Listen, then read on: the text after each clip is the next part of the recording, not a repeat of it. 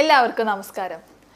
രാവിലെ തന്നെ ശരിയായ ശോധന കിട്ടിക്കഴിഞ്ഞാൽ നമ്മുടെ വയറിനും മനസ്സിനും ഉണ്ടാകുന്ന ഗുണങ്ങൾ എന്തൊക്കെയാണെന്നുള്ളതും അതുപോലെ തന്നെ നമ്മുടെ കുടലിന്റെ ആരോഗ്യം നഷ്ടമായി തുടങ്ങി എന്ന് കാണിക്കുന്ന എട്ട് ലക്ഷണങ്ങൾ എന്തൊക്കെയാണെന്നുള്ളത് അതുപോലെ നമുക്ക് വയറിന്റെ അല്ലെങ്കിൽ കുടലിന്റെ ആരോഗ്യം ഇമ്പ്രൂവ് ചെയ്യാൻ സഹായിക്കുന്ന ഒരു എട്ട് കാര്യങ്ങൾ കുടലിന്റെ ആരോഗ്യം അപകടകരമായി പോവാൻ കാരണമാകുന്ന കാര്യങ്ങൾ എന്തൊക്കെയാണ് എന്നുള്ളതൊക്കെ നമുക്ക് ഈ വീഡിയോയിലൂടെ ഒന്ന് നോക്കാം.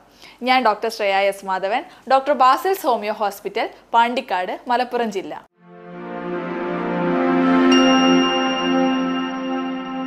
ഒന്നാമതായിട്ട് നമുക്ക് ഗട്ടിന്റെ ഹെൽത്ത് തകരാറായിട്ടുണ്ട്. അല്ലെങ്കിൽ കുടലിന്റെ പ്രവർത്തനം അല്ലെങ്കിൽ കുടൽ ചെറുതായിട്ട് ഡാമേജ് ആയി തുടങ്ങി എന്ന് കാണിക്കുന്ന പ്രധാനമായിട്ടും അല്ലെങ്കിൽ സിമ്പിൾ ആയിട്ടുള്ള ഒരു കാര്യമാണ് ഗട്ടിനുണ്ടാകുന്ന ഡിസ്റ്റർബൻസസ് അതായത് വയറിനുണ്ടാകുന്ന സ്തംഭനങ്ങൾ ഗ്യാസിന്റെ ബുദ്ധിമുട്ട് ഏമ്പക്കം നെഞ്ചെരിച്ചിൽ വയറിനുണ്ടാകുന്ന ഫ്ലാറ്റ്ലൻസ് അതായത് കീഴ്വായുവിന്റെ ബുദ്ധിമുട്ടുകളൊക്കെ ഇത്തരത്തിൽ ഒന്നാമതായിട്ട് നമുക്ക് വയറിന്റെ പ്രവർത്തനം അല്ലെങ്കിൽ കുഴലിന്റെ പ്രവർത്തനം തകരാറിലായിട്ടുണ്ട് എന്ന് കാണിച്ചു തരുന്ന ഒരു ഇമ്പോർട്ടന്റ് ആയിട്ടുള്ള ലക്ഷണമാണ്. അതിനെ തുടർന്നുണ്ടാകുന്ന മലബന്ധം അല്ലെങ്കിൽ വയറിളക്കം പോലെയുള്ള ബുദ്ധിമുട്ടുകൾ അൾട്ടർനേറ്റ് ആയിട്ട് കോൺസ്റ്റിപ്പേഷൻ ഡയറിയ വരുന്ന അവസ്ഥ ഇത്തരത്തിലുള്ള പ്രശ്നങ്ങളൊക്കെ വന്നു കഴിഞ്ഞാൽ നിങ്ങൾക്ക് മനസ്സിലാക്കാം എന്തെങ്കിലും അസുഖവുമായി ബന്ധപ്പെട്ടിട്ട് നമ്മുടെ കുടൽ തകരാറിലായിട്ടുണ്ട് എന്നുള്ളത്. ഇനി രണ്ടാമതായിട്ട് ശ്രദ്ധിക്കേണ്ട ഒന്നാണ് ഉറക്കത്തിലുണ്ടാകുന്ന ബുദ്ധിമുട്ട്. അതെങ്ങനെയെന്ന് വെച്ച് കഴിഞ്ഞാൽ പലർക്കും ഉണ്ടാകുന്ന സംശയമാണ് നമ്മുടെ വയറും മൈൻഡും തമ്മിൽ എങ്ങനെയാണ് ബന്ധപ്പെട്ടിട്ടുള്ളത് എന്നുള്ളത്. പലപ്പോഴും നമ്മുടെ വയറിൽ ഉണ്ടാകുന്ന ഒരു ഹോർമോണാണ് സെറോട്ടോണിൻ എന്ന് പറയുന്നത്. ഇതാണ് നമ്മുടെ ഉറക്കത്തിനെ റെഗുലേറ്റ് ചെയ്യാൻ വേണ്ടിയിട്ട് സഹായിക്കുന്നത്. കുടലിൽ ഉണ്ടാകുന്ന പലതരത്തിലുള്ള ബുദ്ധിമുട്ടുകൾ പലപ്പോഴും ഈ ഹോർമോണിന് ന്റെ പ്രവർത്തനത്തിനെയും അതുപോലെ തന്നെ ഉൽപാദനത്തിനും ഫ്ലക്ച്വേഷൻ ഉണ്ടാക്കുകയും അതിനെ തുടർന്ന് നമുക്ക് സ്ലീപ്പ് ഡിസ്റ്റർബൻസ് ഉണ്ടാകുന്നതിനും കാരണമാകുന്നുണ്ട്. അപ്പോൾ ഇങ്ങനെയാണ് പലപ്പോഴും ഉറക്കം ഡിസ്റ്റർബ് ആവുന്നതും ഇത്തരത്തിൽ ഗട്ടിന്റെ പ്രവർത്തനം കുറയുന്നത് അല്ലെങ്കിൽ കുടലിന്റെ പ്രവർത്തനത്തിന് എന്തെങ്കിലും ഡിറേഞ്ച്മെന്റ് വന്നതിന്റെ ഭാഗമായിട്ടാണ്.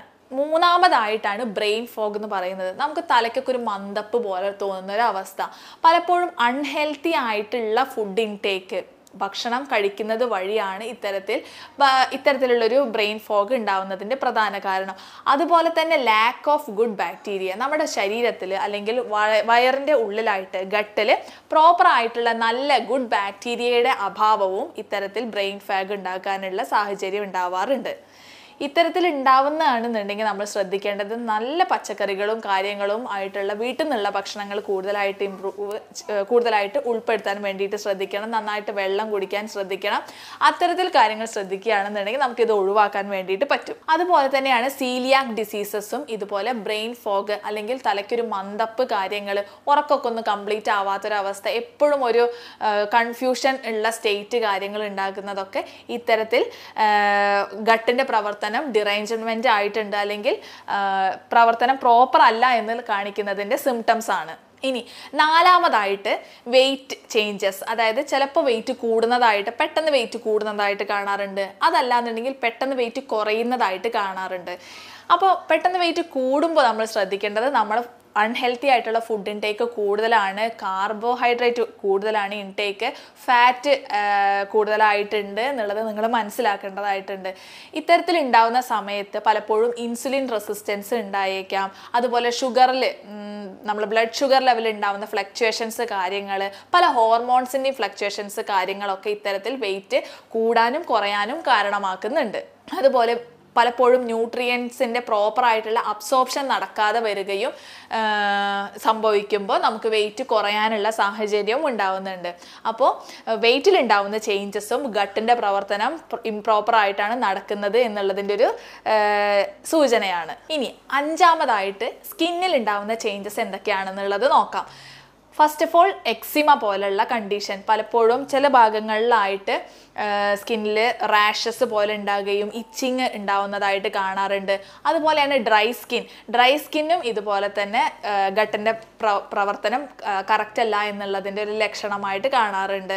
അതുപോലെ മുഖക്കുരു. ഇത്തരത്തിൽ ലക്ഷണം കാണിക്കുന്ന ഒന്നാണ്. ഇത്തരത്തിൽ പലപ്പോഴും സ്കിന്നിൽ ഉണ്ടാകുന്ന പല ചേഞ്ചസ് വന്നു കഴിഞ്ഞാൽ പെട്ടെന്ന് ഉണ്ടാകുന്ന ചേഞ്ചസ് ഒക്കെ നിങ്ങളൊന്ന് നോട്ട് ചെയ്യുന്നത് നല്ലതായിരിക്കും.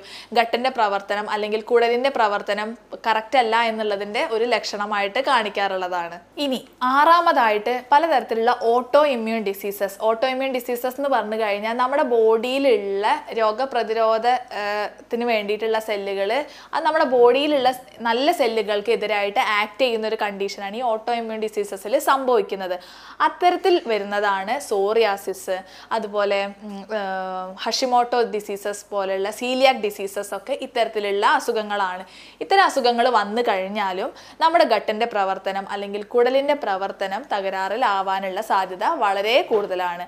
അത്തരം പ്രവർത്തനങ്ങൾ തകരാറാകുന്നത് വഴി ഇത്തരത്തിലുള്ള ഓട്ടോ ഇമ്മ്യൂൺ ഡിസീസസ് പൊതുവെ ജനറലായിട്ട് ആൾക്കാരിൽ കാണാറുണ്ട്. ഇനി ഏഴാമതായിട്ട് food lack of food intolerance എന്നുള്ളതാണ് പറയാനുള്ളത്.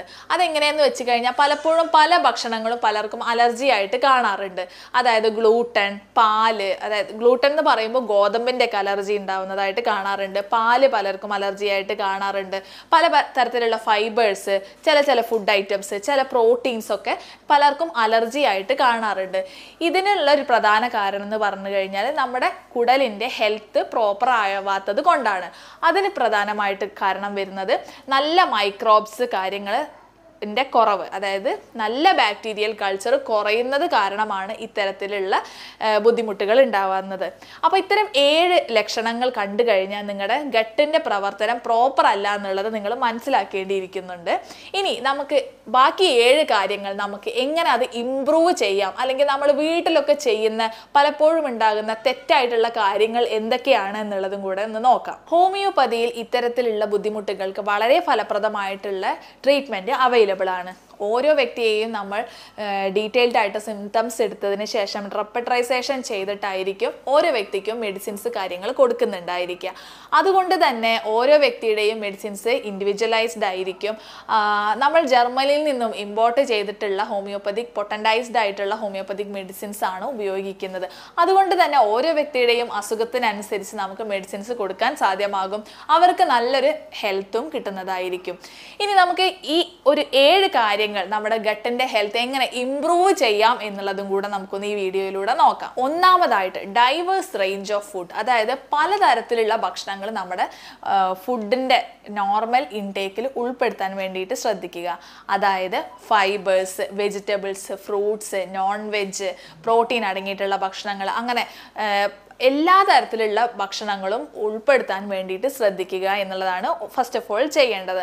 അത്തരത്തിൽ കഴിച്ചാൽ തന്നെ നമുക്ക് വേണ്ട നല്ല ബാക്ടീരിയൽ കൾച്ചർ ഉണ്ടാവാൻ വേണ്ടിയിട്ടും ന്യൂട്രീഷൻ കാര്യങ്ങളും അത് നമുക്ക് ശരീരത്തിന് വേണ്ടിയിട്ടുള്ള പല പല കാര്യങ്ങൾ ഉൾപ്പെടുത്താൻ വേണ്ടിയിട്ട് സഹായിക്കുന്നത് വഴി നമുക്ക് ഇത്തരത്തിലുള്ള ബുദ്ധിമുട്ടുകൾ തടയാൻ വേണ്ടിയിട്ട് സാധ്യമാകും. രണ്ടാമതായിട്ട് ഫെർമെന്റഡ് ഫുഡ്സ് ആണ്. അതെന്ന് പറഞ്ഞു കഴിഞ്ഞാൽ നമ്മുടെ വീട്ടിൽ തന്നെ ഉണ്ടാക്കുന്ന അച്ചാറുകൾ അതുപോലെ പഴം കഞ്ഞി യോഗട്ട് ഇതൊക്കെ ഫെർമെന്റഡ് ഫുഡ്സ് അതായത് ഒന്ന് പുളിപ്പിച്ചിട്ടുള്ള ഭക്ഷണം കഴിക്കുന്നത് ഏറ്റവും നല്ലതാണ്. അത് നമ്മുടെ ഗട്ടിൽ ഉണ്ടാക്കുന്ന നല്ല ബാക്ടീരിയൽ കൾച്ചറിനെ ഉണ്ടാക്കാൻ വേണ്ടിയിട്ട് ഗ്രോത്തിന് സഹായിക്കുന്നതാണ്. ഇപ്പോൾ പറയുമ്പോൾ നമ്മുടെ സൗത്ത് സൗത്ത് സൈഡിലാണ് കൂടുതലായിട്ട് ഇഡ്ഡലി ദോശ കാര്യങ്ങളൊക്കെ കൂടുതലായിട്ട് ഉപയോഗിക്കുന്നത്. ആ അത്തരത്തിലുള്ള ഭക്ഷണങ്ങൾ കഴിക്കുന്നത് ഫെർമെന്റഡ് ഫുഡ്സിൽ പെടുന്നതാണ് അത്തരത്തിലുള്ള ഭക്ഷണങ്ങൾ കഴിക്കുന്നത് വഴി നല്ല ബാക്ടീരിയൽ ഗ്രോത്ത് വയറിൽ ഉണ്ടാവാൻ വേണ്ടിയിട്ട് സഹായിക്കും. അങ്ങനെ കഴിക്കുന്ന ഭക്ഷണത്തിൽ നമ്മൾ ശ്രദ്ധിക്കേണ്ടത് എന്താണെന്ന് വെച്ച് കഴിഞ്ഞാൽ വൈറ്റ് റൈസ് ഒഴിവാക്കി. അതിന് പകരം കൂടുതലായിട്ട് തവിട് അടങ്ങിയിട്ടുള്ള അരി ഉപയോഗിക്കുക. കൂടുതലായിട്ട് വേണമെന്നുണ്ടെങ്കിൽ ഉലുവ കാര്യങ്ങൾ ഉൾപ്പെടുത്തുന്നത് വഴി ഇത്തരത്തിൽ ഫെർമെന്റഡ് ഫുഡ്സ് കുറച്ചും കൂടെ ഹെൽത്തി ആയിട്ട് ഇരിക്കാൻ വേണ്ടിയിട്ട് സഹായിക്കുന്നുണ്ട്. ഫെർമെന്റഡ് ഫുഡ്സിൽ നമ്മൾ ശ്രദ്ധിക്കേണ്ടത് പുറത്തുനിന്ന് വാങ്ങിക്കുന്ന ഭക്ഷണങ്ങൾ മാക്സിമം ഒഴിവാക്കുകയാണ് വേണ്ടത്.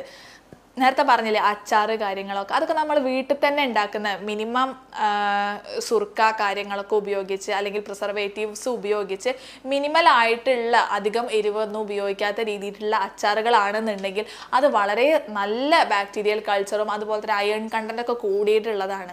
അത് നമ്മുടെ ഗട്ടിന്റെ ഹെൽത്ത് ഇമ്പ്രൂവ് ചെയ്യാൻ വേണ്ടിയിട്ട് സഹായിക്കും. അതുപോലെ തന്നെയാണ് പഴങ്കഞ്ഞി.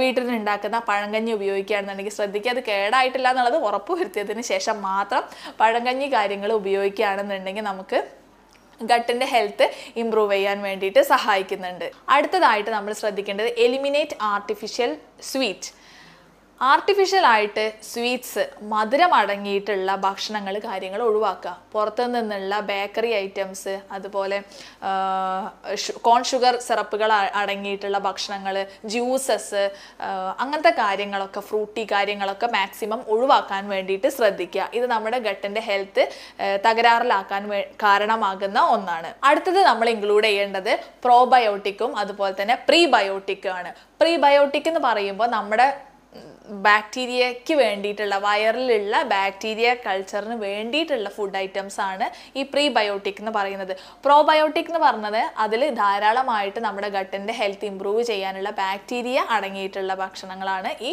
പ്രോബയോട്ടിക് എന്ന് പറയുന്നത്. പ്രീബയോട്ടിക്കിൽ ഉൾപ്പെടുത്താവുന്നതാണ് ചെറുപയർ ഏത്തപ്പഴം ക്യാബേജ് അതുപോലെ കോളിഫ്ലവർ പോലെയുള്ള ഭക്ഷണങ്ങളൊക്കെ ഓട്സ് ഇതൊക്കെ പ്രീബയോട്ടിക് ആയിട്ട് ഉള്ള ഫുഡ് ഐറ്റംസ് ആണ്.